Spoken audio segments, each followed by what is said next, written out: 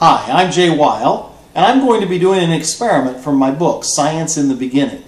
This experiment shows you how water can actually guide the path of light.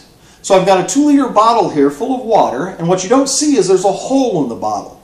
My palm's covering the hole so the water doesn't leak out. Now I'm going to uncover the hole, let the water leak out, and then I'm going to shine the light through the bottle and into the waterfall. Watch what happens.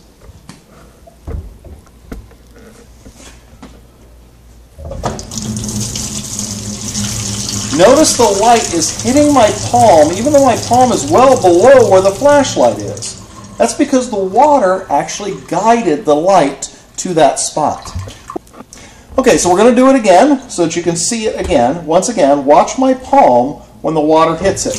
As I shine the light through, notice that the water is guiding the light right to my palm.